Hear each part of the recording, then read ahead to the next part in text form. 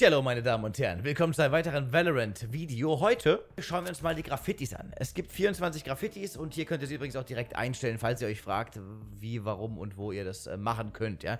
Ihr geht auf euer äh, Graffiti, das ihr habt und drückt dann auf hier, jetzt auswählen und dann ist es ausgewählt. Wie zum Beispiel dieses GLHF. Es gibt einige richtig coole Graffitis und ein paar eher langweilige. Ja? Dieses Boom, naja, zählt jetzt zu den äh, pf, untere Mittelmäßigkeiten. Das ist natürlich sowieso äh, lächerlich. Der Salzstreuer animiert. Sowas bräuchte man in CSGO. GLF gibt's auch noch. Klar, kennt man. Und jetzt kommen hier die richtig sweeten Sachen, wie zum Beispiel hier die absolute Präzision. Alles gut. Auch natürlich wieder meine Farbe. Hier der äh, Breach. Das Enigma ist jetzt nicht so meins, aber wiederum der König für den äh, Charakter, den äh, Sperling jetzt ordentlich eingespielt hat, das ist natürlich wiederum schön. Der Schatten finde ich jetzt nicht so sweet, aber die Drohne, die hat was. Leider nicht animiert, da hätte man auch irgendwie sowas leicht Schwebendes machen können, aber naja. Dann natürlich hier für die äh, Dummdödeltante, ihr Gastank. Passt natürlich auch optimal zu dem Talisman an der Waffe.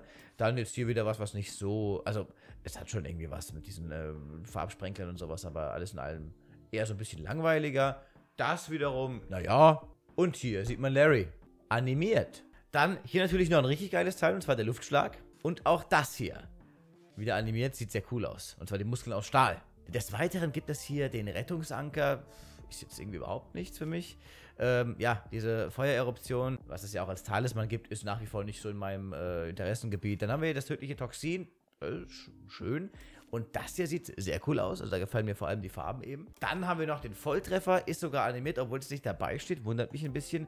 Hier ein weiteres animiertes Graffiti. Und zwar das wachsame Auge. Hat mich jetzt schon ein paar Mal genervt, das Ding. Und äh, jetzt kommen wir auch schon zum letzten Graffiti. Und zwar zur Zwinkerin. Ich finde, das ist auf der gleichen Stufe wie das Boomteil. Ist jetzt nicht sonderlich krass. Graffitis können übrigens mit T gesprüht werden.